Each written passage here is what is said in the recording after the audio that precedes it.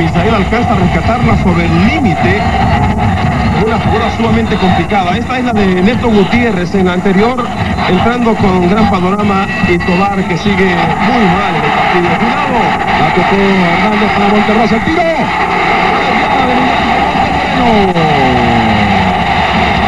Se sufre.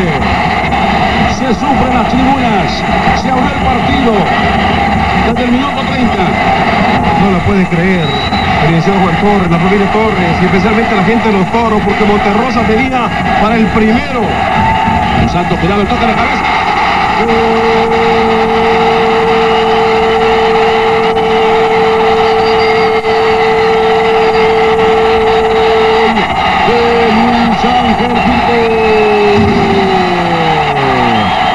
Gol del conjunto pampero.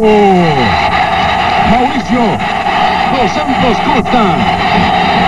Como lo sabe hacer. El toque de cabeza sobre el minuto 39. Ahí está Jorgito Torres. El hijo menor de don Sergio Torres también celebra este gol que va dedicado a don Sergio. Este es la repetición. Firpo está arriba 1 a 0. Y como ha sido tradicional, Mauricio Dos Santos Costa. ¿Quién lo va a parar? Águila no pudo, Adel tampoco. Firpo desarmado. En el centro, la busca Parameño, va a tocar de cabeza.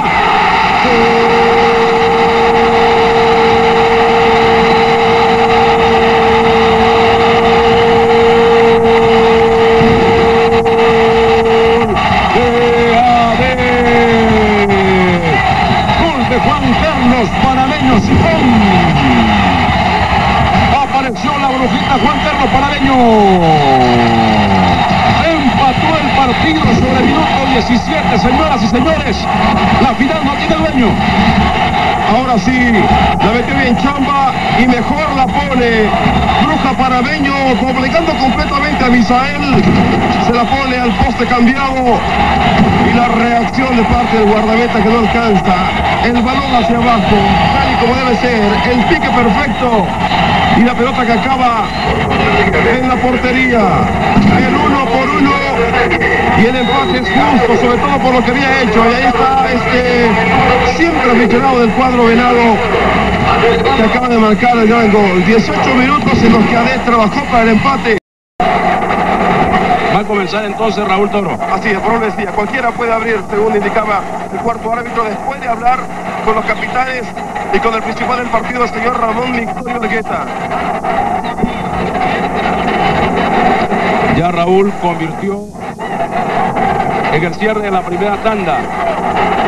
Recuerda usted que Raúl hizo el último lanzamiento cuando FA fue campeón. Así lo, apuntábamos. Ahora Raúl Toro, que va a comenzar frente a Miguel Monte Moreno. Se encamina. Raúl viene bien el chileno, viene el tiro.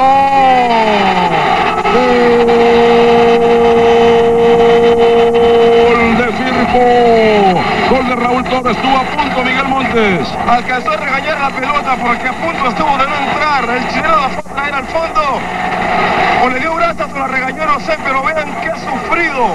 La colocó y Monte Moreno se le encontró y alcanzó a rebanar su cuerpo y el desenlace fatal para el equipo venado.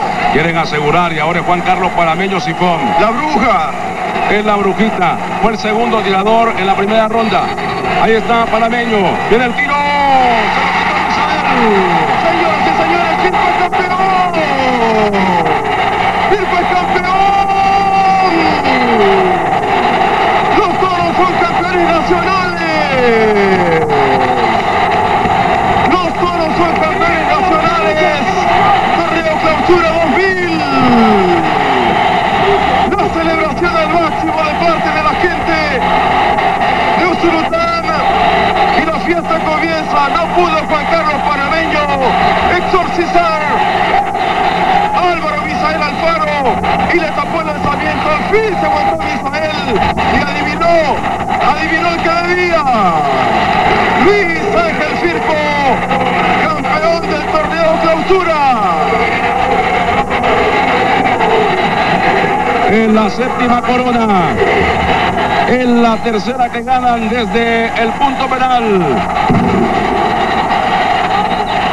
Aquí está la definición, vean ustedes. Lo adivinó. Álvaro Misael Alfaro y se lo quitó a Juan Carlos Panameño Sifón para que de esta manera Firpo consiga un nuevo título. Delante Elmer Polanco. Firpo tiene siete coronas. Por esto la gente de Usulután, los seguidores de Luis Ángel Firpo en todo El Salvador, tienen argumentos de sobra para celebrar al máximo. Aquí se va a entregar la copa. Copa al capitán, que está también muy cerca, el licenciado Juan Torres. Sexta copa que levanta Leonel Cárcamo. Ahí lo tiene. En buena hora, Usulután.